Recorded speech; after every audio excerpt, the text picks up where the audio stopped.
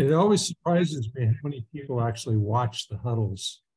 Yeah, because we can see the numbers on the website. Yeah, It's usually like ten or twenty people. that's not bad. Once thirty-eight. I was like, what?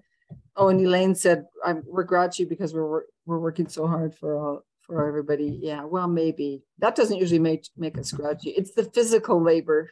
No, it makes me grouchy. Yeah, that's true. What makes me grouchy is listening to hearings and listening to some of the stuff legislators say. Oh, God. Well, you think we'd be used to it after all these years, but you know, there's nothing like fresh outrage to keep you going. Can never get used to some of this nonsense. I know. It's just like, what? Are you kidding me? I don't know. Yeah. Okay. So welcome everybody. Please use the raise hand function. I mean, I know sometimes um you got to jump in because you have something really relevant to say and, and that's okay, but please try to use the raise hand function just because it makes it uh, more fair for everybody. We do have closed captioning if you need it. It's down under your little more uh tab captions and you can just turn them on if you need them. Um, Someone did. Yeah, and use the chat to talk amongst yourself. I'll try to keep an eye on it, like I usually say, in case there's anything that uh, needs answered. Oh, yeah, Jay Levine says listening to Bill Rehm. Yeah, was that with the voting? Well, even Sharer. Oh, on- right. Sharer went For like almost an hour again on the voting rights bill. And, uh, but he didn't, he wasn't doing it on, on Friday at ten thirty in the morning, you know, with a half hour left in the session. And telling So, everybody, giving his. He ran out of gas and they passed it. Yay. All right, so we're gonna go over um some things that happened this week. Actually, quite a bit happened this week. Uh, then we're gonna talk about our final week strategy. And um Paul's gonna talk about our biggest disappointment. We're saving that one for the end. Yeah, saving the bad news for the end. Get it out of the way already. Oh, I Well, it's, know. it's probably a big discussion, so I, I. Yeah. hold it till the end. So we're gonna run through um what happened this week and then and then we'll get to it. So go ahead, Paul. Well, here's the dis. uh, Jump in if you have some information. that we don't- Disclosure alert, if you want to be in suspense, um, don't listen for a second. The discussion we're gonna have at the end is the abysmal suc- lack of success in all Climate. things climate. Climate bills. And, um, because otherwise the session's gone pretty well. Yeah, And, uh, but man, worse than zero. yeah. well, Housing, that- housing also so far, not good. Housing, so, yeah, yeah, you're right, you're right. But So, climate's a little bit bigger than housing. Unless, unless you're without a house. So we'll start with the good news. HB twelve is totally dead. Um, And that was the um energy, what was it? Advanced Energy Technology Act. Right, However, they do have fifty million dollars in HB two, and it doesn't look like we're gonna get it out of there. So they got the money they wanted. They were talking about it today. And, they- and I can't remember which senator, it was in Senate Finance, because they were revising HB two. The- What which was is, not the- on the agenda at all. which was the big budget bill. I was on, because I wanted to watch and see the, uh, what was it that was in Senate Finance today, honey? Um, fifty-three, maybe SB fifty-three. Well, actually, um, I'm gonna correct Paul because it was on the agenda, but it wasn't listed as a bill. It was sort of just hanging there as a separate sentence that they were gonna go over HB two. Okay, So it was just weird, um, the way that they threw it on there. Well, just like it was weird that, um, was it Senate Finance, was supposed to meet at 1:30 this afternoon, and then last night at eight fifteen, they said, oh, we're meeting at nine thirty instead. And that was brackish water, but then, of course, they never got to the bill, so. that's why I was in Senate Finance. And I would, I would like to ask, was anybody else on Senate Finance? Somebody. Yeah. Glenn, Yeah. you and I were exchanging texts, I think, right? Well, we both got on a little bit late and we weren't sure whether brackish water was heard and there's no way to tell. Because they bounce around, they're not going in order. And so I, I'm pretty sure it did not hear brackish wa- water, which would mean it would probably be near the top of the agenda for tomorrow. Yeah, I, Well, I think that, I was on the, I was on the home warning and there wasn't, there was no mention whatsoever for uh, brackish water. they had, I think never, they they never even got, never even Yeah. discussed it at all. Right, right. And then they had to go into, under the floor session. Okay. So HB twelve is dead. Here's all the good news is we defeated terrible things, Yeah, you know, Yeah. but none of it about like passing inspirational stuff. well, SB five twenty, which should have been a good bill. That was the Clean Future Act. Did any of you see that hearing? That was Oh, my God. yesterday. Was that, that couldn't have been yesterday. Yes, yes, it was yesterday. That, that was surreal. Um, when, uh, Cervantes just comes back in o- out of nowhere and votes yes on a do pass, no rec. The No, that wasn't, dead. that wasn't five twenty. Okay, so that's what I'm talking about. That was uh brackish water, I think. You're right, it was. Yeah. It was three, three, so it, it would have been tabled and then Cervantes just walks in, having not even been in the hearing, and goes, yes. So it became four, three, right? So it did pass in conservation. That was And- conservation, right? And it wouldn't have passed without Liz Stefanics also supporting it. Yeah. And I have a text to her like, we need to talk. Like what? 'Cause, W, WTF, yeah. Yeah, when you've got your best people going sideways, it's like, it's not good. Okay. All right, So- so that, that was the. the, I was uh, jumping to five twenty, SB five twenty, Clean Future Act. That was yesterday. That was yesterday and uh, that died Yeah. and that was great. Um, There were a lot of environmental groups in favor of that bill Including Sierra Club with Camilla being the first to speak. because again, like with the Energy Transition Act, it's like, well, this is better than nothing, you know, it's a start, it's gonna get us going. But as you all know, if you read the alerts and you read Paul's blog, um, it was in dire need of some important amendments. And one was made, I think they got rid of what carbon capture or Right. Carbon uh, offsets. But they didn't make the others. So it's good that it died, but it's just unfortunate that we can't get a good um, bill to cut, to cover these areas. So I'm so tempted to launch into what I want to talk about at the end, but I'm going to hold. that's off what I was because gonna say, yeah, we'll talk this about that bill. later. Okay. Um, the omnibus tax bill is looking very solid. Nobody's futzed with it at all. And, uh, and it's, is Rich on? Yeah, there he is, Yeah, Rich. yeah. Is that your perception that it hasn't been messed, messed with? It wasn't messed with when it passed out of the committee. And my understanding from Paige Knight of Voices is that it's supposed to be heard in, the- on the House floor today. So straight from the Taxation and Revenue Committee to the House floor. And I don't know if there's going to be any amendments on the House floor, but I heard your message loud and clear, and I hope they did too. You know, let's Yeah, just- I hope people are, going. that's one thing where we still need to make calls because in Senate and, and, and, and to write, because in both business and ta- tax and trans, tax, business and transportation, but especially in finance, they really futz with stuff. Um, it was interesting because I hadn't watched a finance committee hearing until today. And um, the other news from that committee is Munoz is not interested in adding any money back into a bill. If it's, if it arrives there without money, it's not getting funded. If the money isn't already in the budget, Right. forget it. So So that, that killed the two um healthcare Healthcare. acts. I Uh, haven't heard from before we Mary go to that, let's see, Jan's got her hand up. Go ahead, Jan. I, I just want to say that I called too, but I don't know uh, if it was timely, but I got a hold of at least five senators on uh, HB 547 and kind of summarized what you said and picked out a few points. So, um, so what I'm hearing is that it did pass. What, uh, which one? Five, which one are you talking about? Um, the omnibus bill. It's, it's moving along. Four fifty-seven, yeah. It's, what was it, Rich? It's I going think to it the is. House floor. Or I may have. yeah, five, five forty-seven. Five forty-seven, Okay. sorry. I- That was. It's one of the dummy bills, you know, public health, safety and everything. Sorry. good in the world.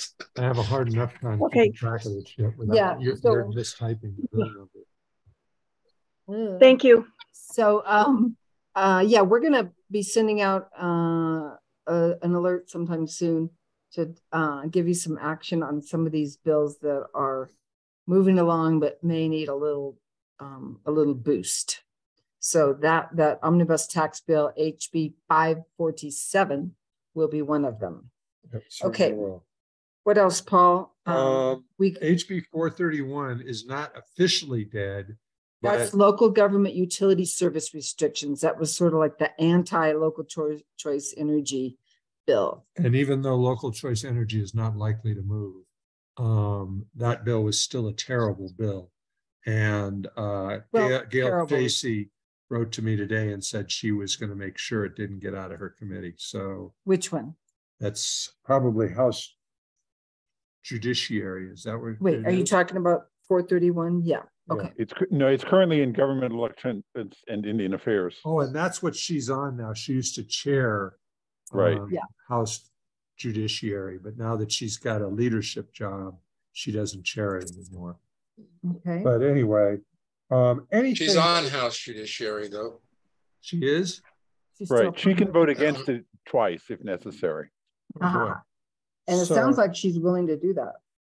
And uh, so the, the, the bad news I've gotten, at least from watching Senate Finance today, is that it's very unlikely that either HB two ninety-three or HB two sixty-four. Those Those are are the- the two um, Health Security Act bills in terms of continuing the design process. It looks like not, neither of them are going to make it.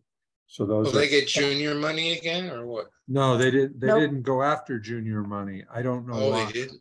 But this is one thing that we, we should talk about, and it's like, what do we do when our allies do things that, you know, even trusted allies that don't really make, seem to not make sense? They, like, they miss something. Well, I, I think we have to give them the benefit of the doubt and maybe we don't, of the doubt, and maybe we don't know exactly what went wrong there, but it is worth having a conversation in some of these cases because it just seems like the, the failures keep happening year after year. The same kind of failure, just not getting through the interim hearings with some money in your bill eh, approved, so that then when you go to House Appropriations or Senate Finance, it's no problem.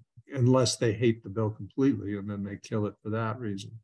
Yeah, it's a shame that it just gets killed because you didn't manage to get your money put in the budget.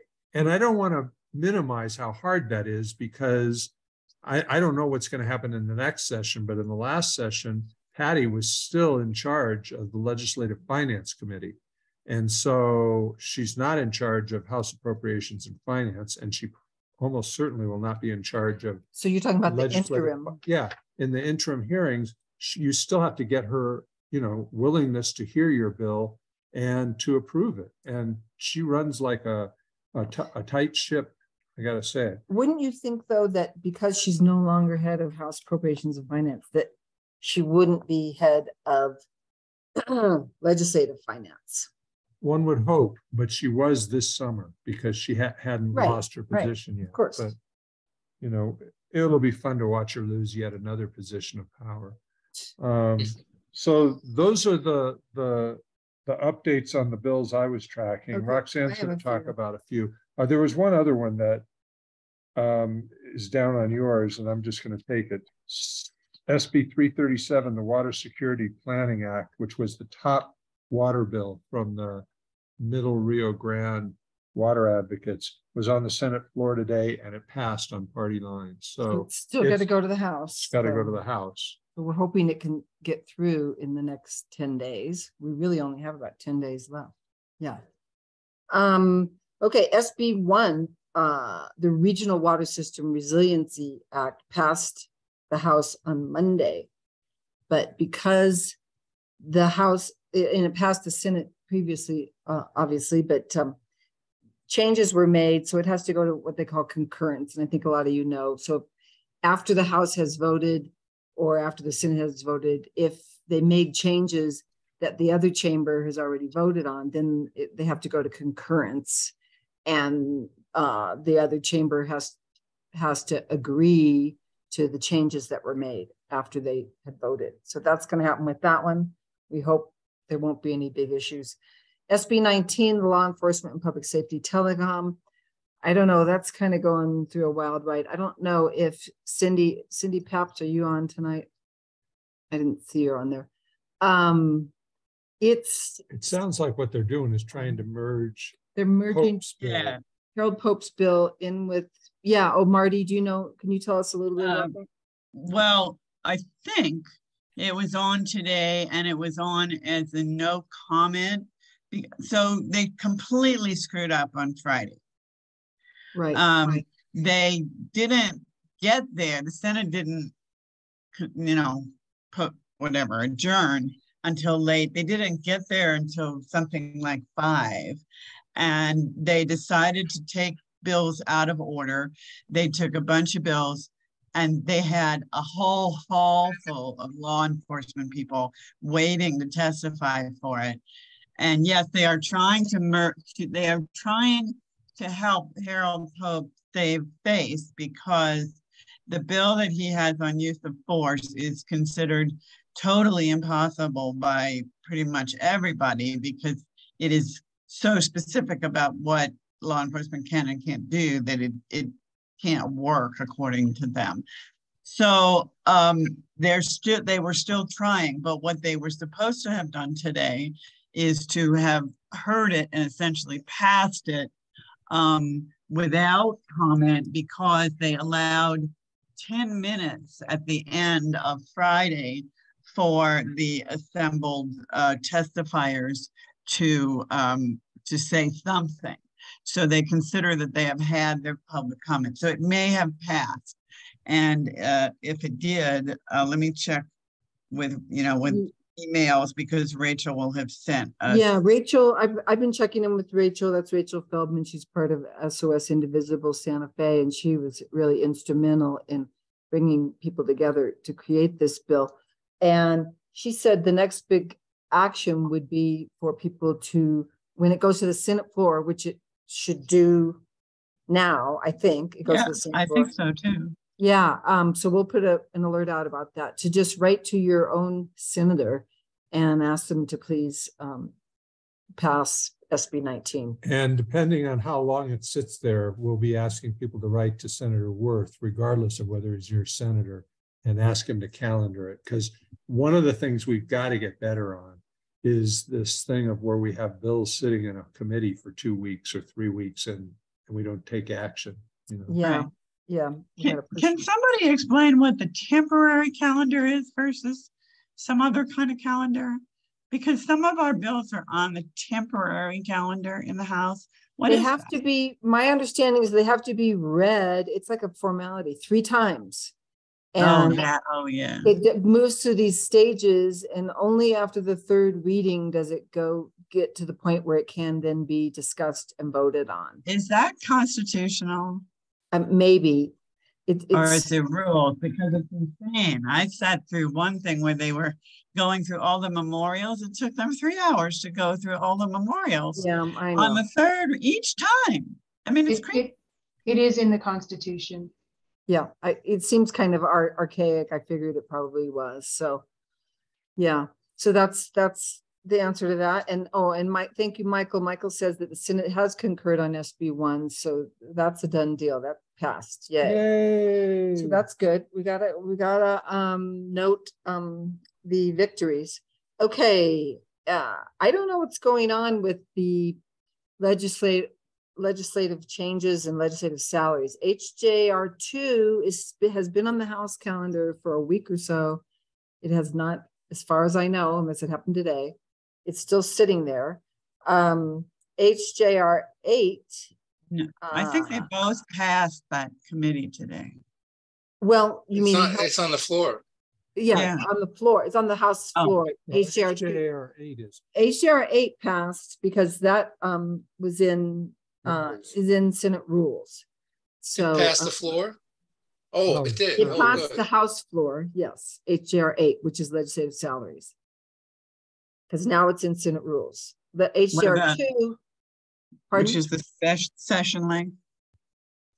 H, no, HJR Eight is two salaries. is, yeah, is the one about s- uh, length, it's making the even yeared sessions sixty days.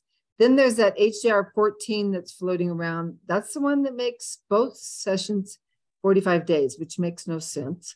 So we're ignoring that one and hoping that one doesn't go through because it's That really. died in judiciary the other day. It did? Oh, good. They HJR tabled it. fourteen did? Okay, great. Great, thank you, Michael. Um, and the more good news, HB seven, the reproductive and gender affirming healthcare. Wait, you skipped good news. Oh, voting rights, yeah, both. HB four passed on the Senate floor today.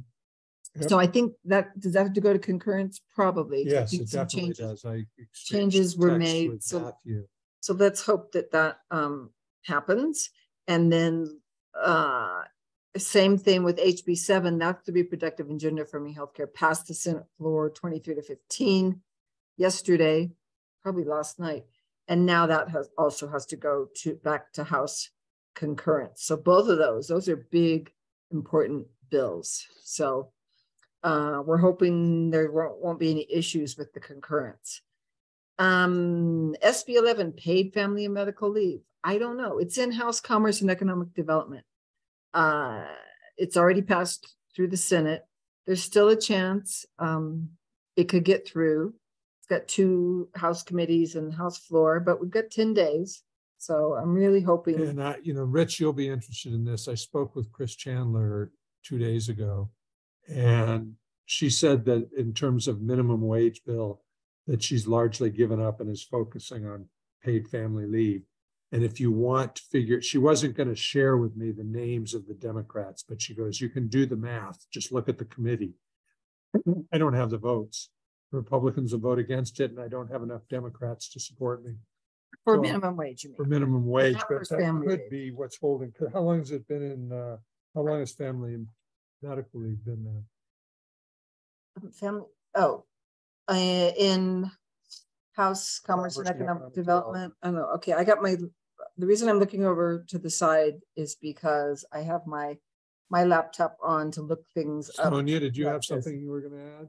that the paid family leave was only put into one committee.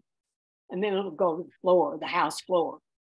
Oh, I see that. Yeah, okay, that's great. And that wound, that went to only uh yesterday. It went Commerce and, Commerce and Economic Development, yeah. Mhm, yeah. So it looks like it, that one could make it. That would be, yes, Um, it does. It looks very You were out of good. the room and that'd be um, great.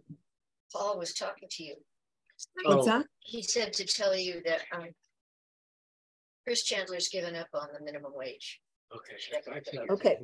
So, um, water security planning, uh, SB three thirty-seven, that was the top uh, priority water bill based on Middle Rio Grande water advocates and, um, And that passed today. it passed on the Senate floor, but it's still gonna go through the House. So we're hoping that that will happen. And then SB fifty-three, storage of certain radioactive waste. Oh, I listened bill. to House Judiciary for so long. No, it's on the Senate floor. That- Oh, no, I'm sorry. it's It's. House Judiciary today. I'm right, sorry. Then and it I goes to the to it all floor. day and they still never got to it. So it'll probably be the first on the agenda next time. They had two gun bills and listening to the Republicans talk about why it was this horrible thing to prevent guns at polling places was just surreal. They could be located next to a business and what if, you know, the person has a gun and goes to the business? Are they too close to the polling station and they'll get arrested? Or if they're driving through the parking lot in their car with a gun, could they be arrested and charged with a felony? And it's like. We one and we want to thing. intimidate people from voting is what we want. Right, right, right. So the intent is obviously not to bust people in parking lots unless they're standing outside the, the polling place with an automatic rifle. Yeah, and Elaine, I know you're asking about the Green Amendment. We are going to talk about that when we get to the section on climate bills. You know, regarding the uh, polling places bill, when I called, um, I told them that I worked in the as an election worker last year um, at at the Grant County Elections Office, and there were some tense moments where I was concerned. Um, and no one brandished any guns, but there were some tense moments, and the county clerk handled it well. But I said personally, you know, I, I would feel much more assured if they passed this bill. So I just left that message at several offices, but Yeah, yeah. You know, it- for any of you who are not gun owners like myself, um, being around somebody who's mad and who has a gun is very uncomfortable. Yeah. Um, last year when the, they had the big protest that surrounded the roundhouse, might have been the year before. Um, I had to walk through and a guy stopped me who was with the protest and he goes, and he said something, that I said, this is making me very uncomfortable. And he go, what do you think? We're gonna shoot you? And I go, I have no idea, but I'm not, I'm not comfortable around guns. I've never been around a gun in my life. And he just laughed at me.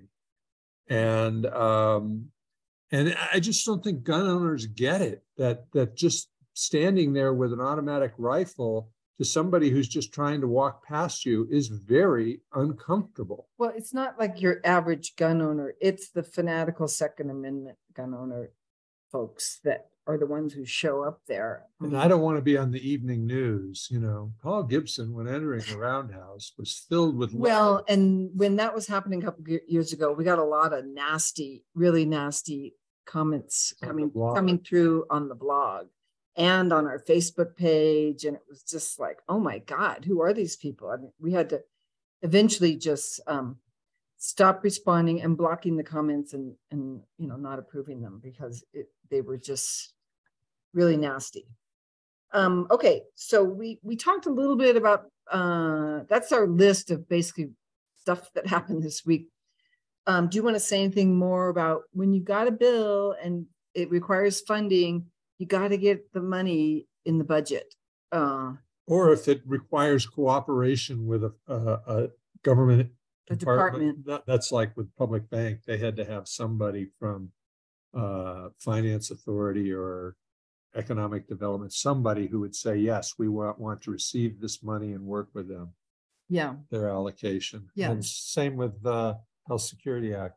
yeah, Jeff, you've got your hand up. Yeah, I- going back to the, the health security or the health related, the two health related bills.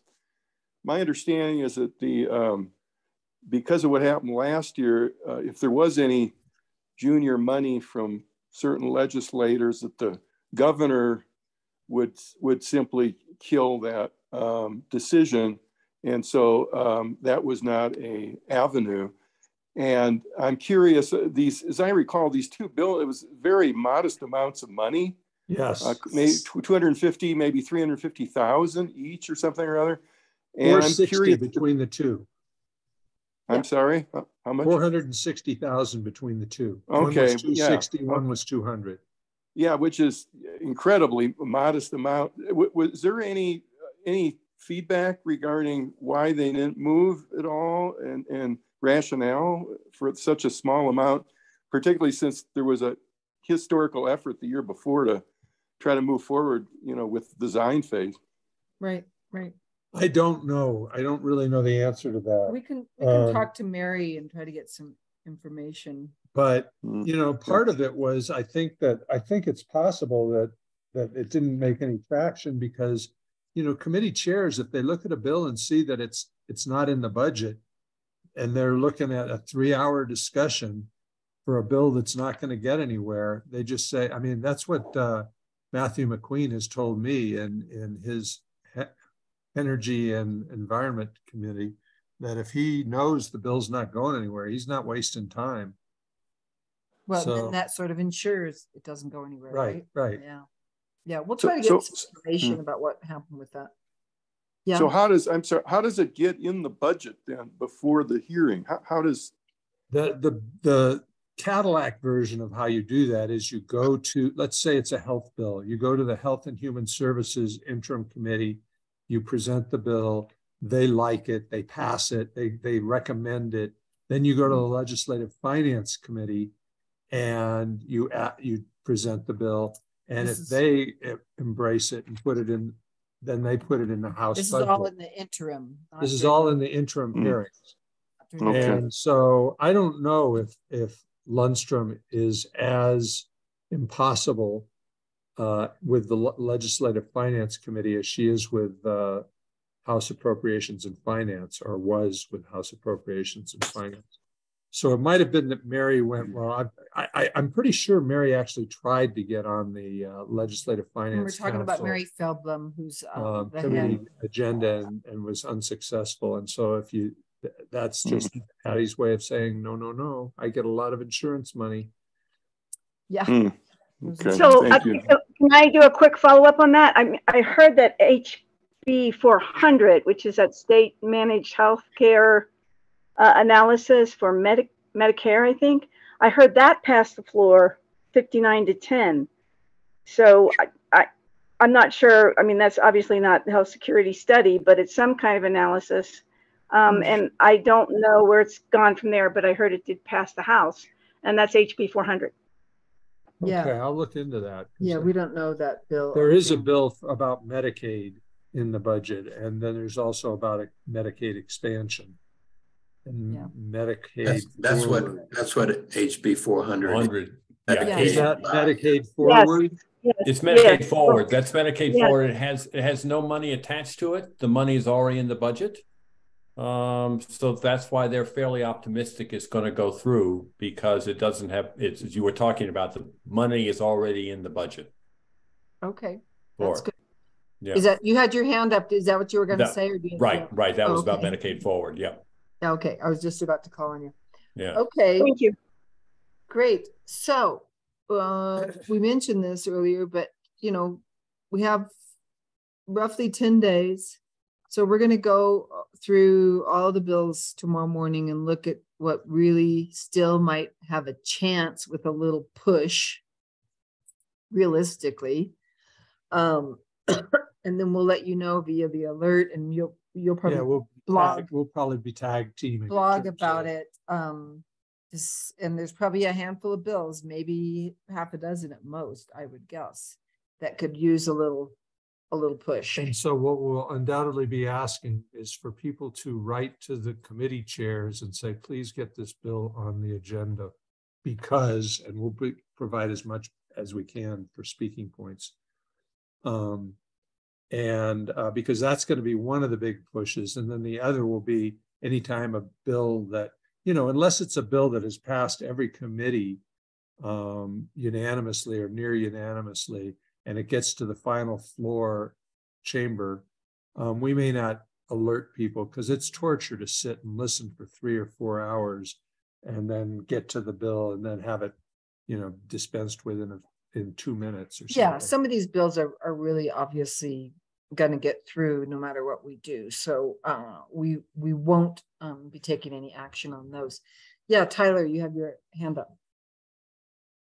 You had mentioned um, that it, at least I interpreted what you said, Paul, as there's really no way for the health security bills to now get funding through junior bill. Is, is that an absolute closed door? Oh, yeah, the junior bill money was closed a while ago, the deadline. Um, Probably they- like a month ago. a month, it's, it's usually the middle of the session. Mhm. And, um, you know, in Mary's defense, I told her what Peter Wirth told me. And Peter Wirth told me that first he said, I don't think there's even going to be junior money, but if there is, and, and anybody puts anything like a study or a design in it, the governor will veto it. And I told Mary that, so she probably was, wasn't all that motivated about trying to get junior money. Well, Rich. Since, since those two Oh. bills are not going to pass, um, the HB four hundred is actually quite a um, impressive bill. I'm not, I'm not sure it's a great approach, but it's, it's certainly better than nothing to, ex- by expanding Medicaid um, to a lot of people in the state. Um, No, that's, I'm, Okay, we'll, we'll take a look at that and, um, see if there's anything we can do uh, to help Okay. get that one through. is that Reena Szczepanski's bill? yes, and I think it's the governor who's behind the proposal for that. Yes. It's Okay. amazing how easy it is if you've got the governor behind it. Yes, right. Yep, Rich, did you have a comment? Uh, yeah, on your point about contacting the committee chairs to get bills off the dime. Um, the other day in um, the housing group that I've been participating in for quite some time, uh, it was suggested, like, especially for the Senate uh, Judiciary Committee, where the housing chair, with the- that chair is uh, uh, Cervantes, that emailing everybody on the committee to try to put pressure on Cervantes. Now, I don't know, is that, I'm just wondering, does Well, does that ever, was that ever work? There are committee chairs and then there's Cervantes. Yeah, And, right. and, you know, I'm actually starting to develop a fondness for the guy in a relationship. Um, we're not dating, don't worry.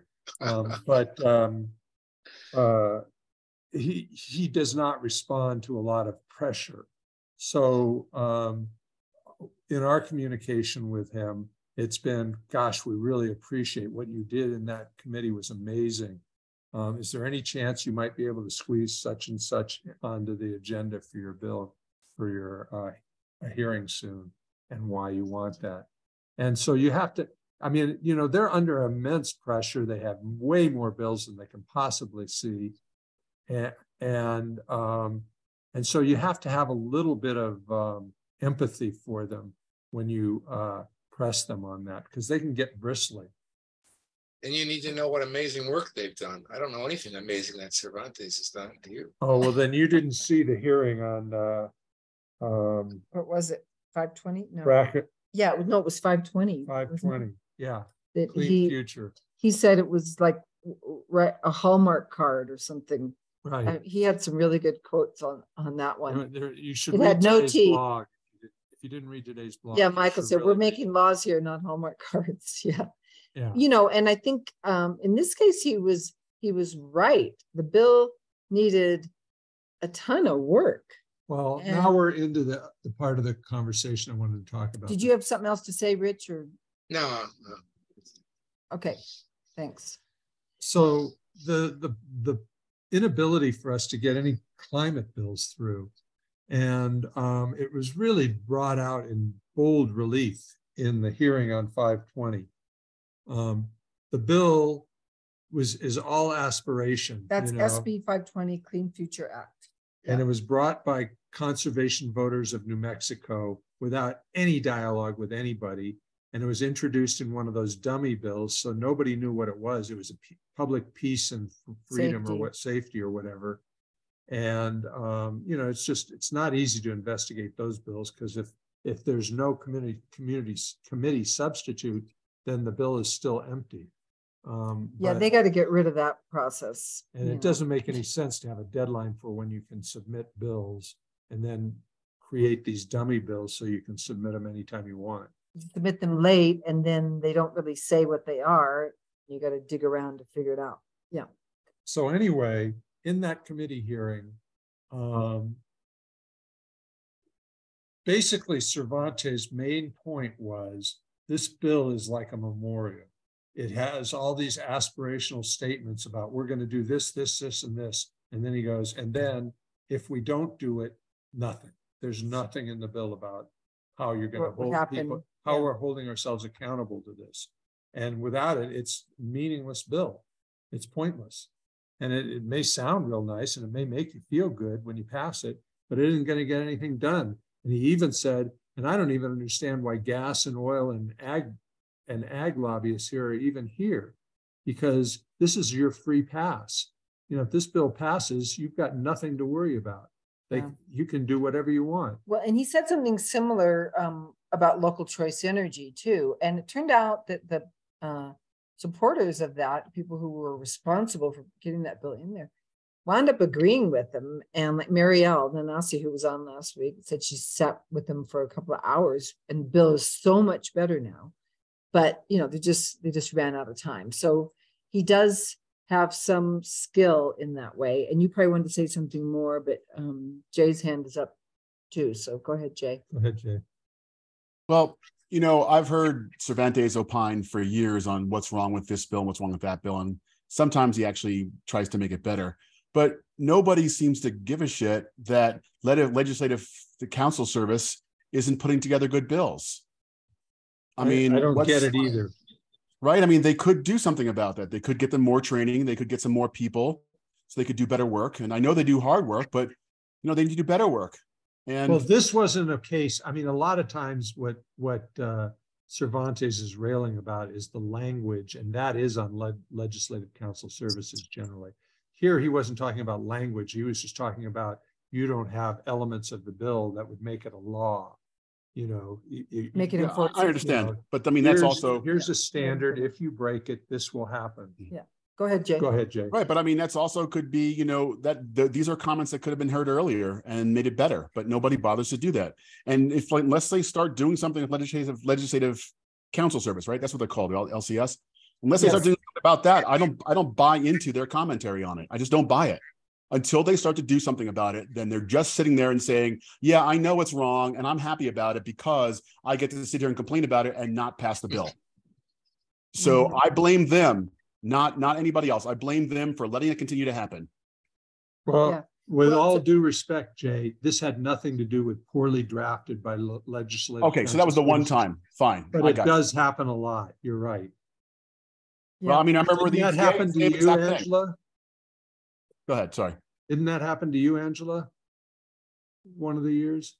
And when we jumped in with the sponsors to make corrections in the language and uh, tighten it up, we had a little bit of resistance, well, moderate resistance from the staff person doing the writing and um, the last time, last CS session when we had a bill, we, we This stuck is about public banking, in case people don't know, public banking bill. Yeah, we stuck to our guns and we uh had sharper language in the bill and um.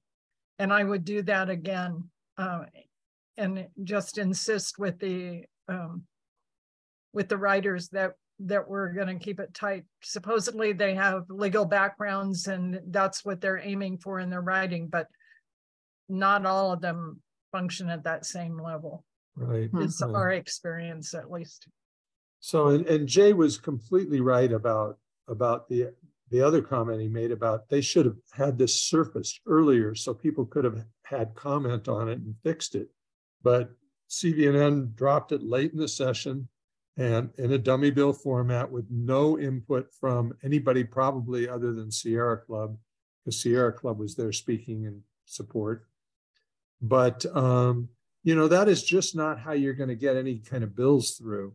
And so what I what I said in the blog today is that you know it's time for us to draft a climate bill without trying to placate gas and oil because that's what CVNM did. And Mimi Stewart in the hearing when she was just getting reamed by Cervantes said, "You don't understand. We had all the people in the room and we couldn't uh, achieve agreement on any of the consequences or penalties." And so we left it out. And it's like, wait a minute. You mean it's like going to a bunch of felons and saying, you know, we want to increase time in prison for felons who commit A, B, and C. And then the felons object, and you go, oh, well, I guess we can't do that. But That's felons- exactly what's been happening on the housing bills. The Democrats are voting to table it and they're saying, well, you, you- you're introducing this and you haven't gotten an agreement from, you know, your partners, which means your adversaries. And so we, we don't even want to consider it. And, and you're mm. not going to get agreement from these people. Well, It's the and same wha- one of the primary nonsense. reasons they do it is because of campaign contributions, right? I mean, I think that's part of it, at least, you know, a lot yeah. of people are getting a lot of money from the insurance industry, from oil and gas, from, you know, who knows, who knows what, but I don't know. Yeah, it's very, it's frustrating to say the least. So we're looking for some ideas. One idea we have is that next session, and I've already surfaced it with Joseph Cervantes, we work with him and some environmental groups that are real environmental groups, not faux of environmental groups. We don't invite the frigging gas and oil people to the table, and we craft a climate bill that you know sets emission standards and sets penalties for failure to And meet our, and a timeline and so forth. And then let them, because what, what uh, Mimi said was if I had done that, this room would have been so packed with NMOGA people, you wouldn't have been able to move. So, And I, and my reaction to that was, so what? You Yeah. know? Let them let them whine. So at least if we did that, but one of the realizations I had was that Stewart's in a bad space. If she had put together the perfect climate bill and somehow managed to get it through, the governor would have vetoed it. Right. And the thing is, the governor campaigns on climate, but she doesn't want to do anything but gas and oil.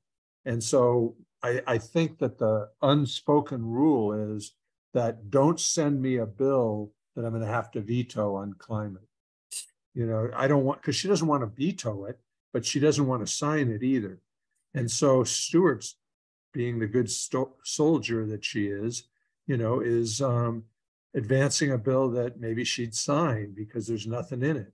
It's a fake, it's a fake climate bill. I- And then she can say, look, we got the, we got, now we've got this, the nation's best climate bill too. You know, and, and it's like Cervantes went off on the Energy Transition Act in the same way. He goes, you've got all these RPS standards, but where's the enforcement? There's none.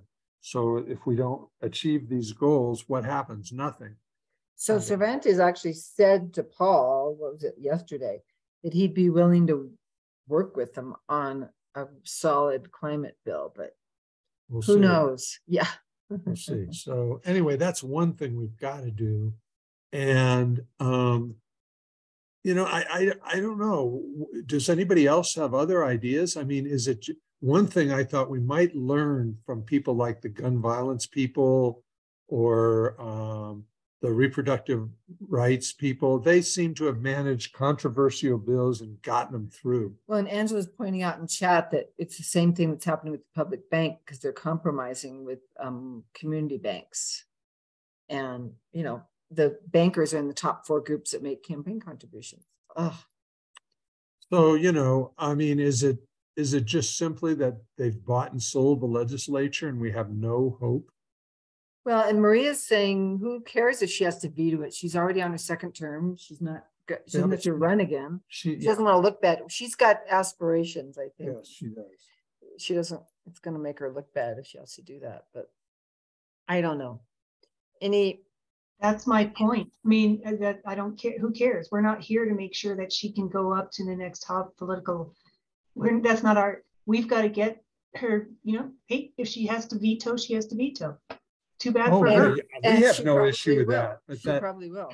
the, the problem with it for, uh, uh, Senator, um, Stewart is that if you do that, you are in her doghouse big time, and you don't want to be in her doghouse because she never forgets. And so, you know, I, I'm pretty sure there's an unspoken rule, do not bring me something I need to veto. Do not cross me, yeah. Tyler, you've got your hand up and then Jay. Well, um, to the more narrow question of working with Cervantes, um, I saw how sleazy he was in dealing with health security a few years ago uh, when his vote was critical and a committee, slipped out and met with a lobbyist from the hospital and health insurance companies. So, um, I mean, I watched that happen. And I, I just, you know, far better than I do, but he just seems so unreliable and slippery. Is he sucking you into something that he knows Yeah, he can? I, I wouldn't trust him. I don't know. He, and who knows, he could say that and then when Paul goes back to him some months later, he's like, I don't, I don't remember saying that. I mean, I could see him doing that. Yeah. We're, and we're not saying we are gonna work with him, but And it's not necessary, yeah, right. It's not necessary that we do it with him. The idea is that we draft a bill well in advance that is, you know, just exactly what we want. And we take it to the interim hearings, hearings, and we use it to educate legislators and to expose NMOGA and them for their stupidity. And, and we ultimately take it to the legislature and at, at the worst case, if we can't get it through, we know who our allies are and we know who our allies aren't. And um, that's worth knowing. But um, you know, if it was an education bill, and I'm I'm a former teacher, so I'm, you know, I just don't think it rises to the level of importance and urgency education does as climate, because we're gonna, I mean, this is getting nothing's gonna matter. nothing's gonna matter in 20 or 30 years. Um, if we're not, if we don't do something. Yeah, Jay. I'm not saying it's a bad idea. I'm just Okay. saying careful Right. with Cervantes. Oh, yeah, Go we, in with we your eyes open. we would be very Yeah. careful. Thank you, Tyler. Jay? Yeah, no, I like this talk, Paul. I mean, I think that there has to be some way to educate these people in our legislature who are supposed to be passing bills for the benefit of all New Mexicans. There has to be some way to educate these people because they seem to be pretty damn uneducated about too many things. And and I totally get the part where like these people are giving up their time, getting barely any cash to just to just to pay their way to sit there and be in committee, and they have no staff. We all know all these things, but that can't be an excuse it's a situation, but it can't be an excuse for doing nothing on climate. And I've been trying to understand a little more about what's happening and you know, for temperatures. And there's some there's some maps that show the temperatures of what's going to be in here just in the 40s and 50s in in in New Mexico. And like the bottom quarter of the state will be uninhabitable, as will El Paso and Phoenix and Arizona and parts of Arizona. That's like that's not far away. You know, that's really soon. And these people are still doing nothing. Like we have time. And I think we all know like we don't have time on climate. The time is passing us by, and like there's this discussion about how like all the tipping points, there could be just a domino effect of tipping points. And that's one of the new theories. Yeah, I, one of the Republicans the other day in one of these hearings said, oh, well, you know, if we don't let that happen here, it'll just happen in Texas and the air from Texas blows over New Mexico, you know. I mean, it's So just- that's an excuse to do nothing, right? Right, hmm. exactly, exactly. Right. So like, yeah, I mean, so and that's the one, the- one of the hardest parts about this is like we have to do all our work to save their children's lives. Yeah. Well, as they do nothing, but we don't have a choice. Right. But we Well, need one- to find a way to to really get these folks to understand. And like us in northern New Mexico is like one of the one of the few spots in New Mexico that actually looks like it will be survivable in 20 to 30 years. But like the rest of southern New Mexico won't be. Yep. I mean, just, Yep. these maps are all the, maps are crazy. Sorry, I'll, It's I'll stop crazy, there. yeah. Well, I'll, I'll just say really quickly, and then I see your hand up, Elaine and, and Jeff, that Paul and I have been toying with the idea of not even doing this um, legislative session work anymore, but just focusing, um, and, and we don't know if we're gonna do this, on research and creating materials to educate legislators, you know? That maybe that would be a more effective way of getting things done than the craziness of the session because there's only so much that that people are going to be influenced by if they don't have good information. So We started doing that a few years ago, right? well, we do do some of that, but I mean really focusing on that. Like this year, we didn't have much time to do research at all. We didn't have a research team. I mean, we just didn't um, pull it together as well as we have in the past. And but every year we just see how important it is or how unfortunate it is that so many legislators just really don't understand the issues and the only information they're getting are from industry lobbyists. So there has to be a counter um, to that. And, and what we need are really, I mean, you know, when you think about it, name the number of legislators that are really strident advocates. You know, Sedillo Lopez, uh, Patricia, Roybal Roba Caballero. Ca- Caballero, who's largely ignored in the legislature, Yeah. but Antoinette isn't. Uh, Carrie and- Hamblin seems to be pretty good. pretty good most of the time. But I mean, what you find is one time after another, um, you you think you've got it solid because you've got these Dems in there, and then they say the same damn thing that the lobbyists are saying, and they vote Yep. the wrong way. And so it's hard to tell. You think you've got your ducks in a row, and then Liz Stefanics' one of the most reliable legislators we know, goes and votes and cast the deciding vote to get the brackish water through. I just, my jaw dropped. Yeah. So, Let's- let's- um, are we ready to- Elaine, go ahead. Yes, hi. Um, First, I want to comment that New Mexico Legislative Reports is a subscription. And that subscription service basically goes through bills and gives pros and cons. And it is basically um, all the lobbyists subscribe to it. And so all the all the analysis on the bills are done and then that's what these lobbyists go for go to the um, uh, the um, legislators with So that has to be done on, um, on, uh, for more progressive um, And side. What, what was the? I, I agree with that. I just want to say on the climate issue, I agree we need to bill, we need to do one that we want. We need to move it forward, and I agree with Paul on that. I live in a wildfire prone area, 93 percentile on the West Mesa. This whole place is going to go up and it can go up any day. And there's nothing on resilience. There's nothing on adaptive climate. All they're doing is taking this money. They want this infrastructure money and they're they're pushing more oil and gas, more fossil fuel, hydrogen, carbon capture, all of it. And what's going to happen when 50,000 people lose their homes and there's no water left here?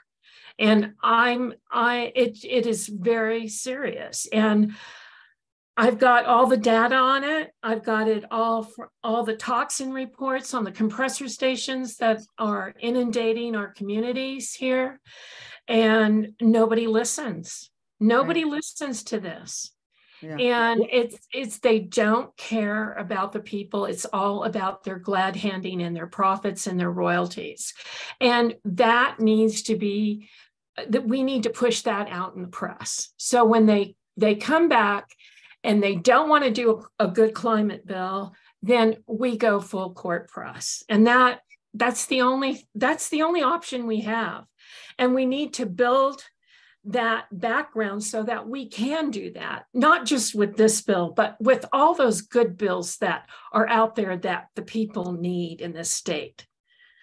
That's all I want to say. Thank Okay, you. Thank you, What, Elaine. what was the name of that subscription service that you mentioned at the beginning? Uh, West New Mexico Legislative Reports and Beverly Okay. Garcia was the one that did that for years.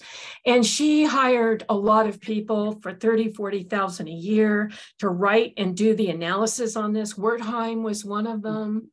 Um, she would hire some of the, because she worked in all these, um, uh, with all these attorneys in Santa Fe. And so she would get them to do the analysis on these um, bills. Yeah. And then that is why she was able to get really high subscription rates is because she sold that to oil and gas. Yeah. Okay, That's, thank, that's what happened. Thank, you. thank you for that, Elaine. Uh, yeah, we're almost out of time. So Jeff, go ahead. Yeah, just, you know, ditto on everything. I think the fact that we have a blue, a blue legislature, uh, Senate, House, and a governor, this is all just proof in the pudding. We've had ideally, or on paper, you know, ideally an opportunity, all the effort that's been made by so many people, uh, you know, Paul and, and Roxanne as leaders to try to influence these Democrats. And, and, you know, the, the- it's, it, it, it, the bottom line is it's self-interest, it's money. And, and there's, there's a reason that we haven't been able to modernize the legislature. We're the only state, I believe, that doesn't pay legislatures, legislators. Uh, so clearly the answer has to be more in a fundamental systemic way with a new approach. And, and, uh, you know, the clock's ticking, particularly on climate, and we haven't got any time left or very little to make a huge difference. Yeah. And a huge agree more. difference is the only, is the only difference we can afford to make. We can't afford to make anything less than a huge difference in that area. So, and we, we've, we've gone backwards, I guess, this, this session. So I don't know. Yeah. Well, we didn't move forward, that's for sure. I don't know how far we moved back. We killed a Well, lot of things. Climate that were- change conti- Right, continues right. moving forward, which puts us back automatically if we don't do anything. Right. That, that's my point. Yeah. Yeah. Yeah. Okay, thank you for that, Jeff. Thank you, everybody. It's uh seven oh one, so I think we're gonna have to end for the evening. Look for, please read the blog and the alerts um coming up over the next few days about strategy for the remaining time. And, you know, let's try to keep, remember that some good bills did get passed. It's not enough, I know, but we did get some things done and we killed some bad bills. So, I want to emphasize that we killed some very bad bills and that we have some credibility in the legislature in doing that. And then I'd also like to say that there are some really good bills that are getting through and Yeah. Roxanne said it, but I think that we can learn from that Um, because they, there's, they're doing something that we're not, or they're not encountering the kind of opposition we wind up encountering. Well, and I would add that the governor has way too much power because I think HB seven and HB four just breezed through because she wanted them. I mean, I'm glad those are good bills, but I don't think we'll ever be able to negotiate with her on a climate bill. But we can expose her, and that's the best we can Yes. do, and that's not gonna lower the temperature on the planet, but maybe will, it'll create in a context where a, a, a decent, not a decent, a very good Democratic governor runs. Yeah, we got to start thinking about who, who we can get to take her place. The only person's name who I see surface is Stephanie Garcia Richard. And uh, that would seem pretty good. But you know, it's, it's funny, you get into that kind of a position of power and then all of a sudden you, things change. And you thought you had somebody really good and then you don't. But you got Well, them for four years. We were never very enamored with Michelle. I would much rather have Stephanie. Oh, yeah. We'll see what happens. Okay. Thanks Are for we gonna meet here. next week? Yeah, Yes, we are. probably. I And mean, probably the following week, um, after the session's over, just to sort of do a Debrief. debrief. Yeah, and yeah. celebrate. yeah. Thanks, everybody. All Have a right. good evening. Have a good evening, everybody. Oh, Mart, somebody said Martin Heinrich. Yeah, maybe. Kind of hoping. Oh, I, I'm not a not Heinrich fan. Thanks, everybody. Good night.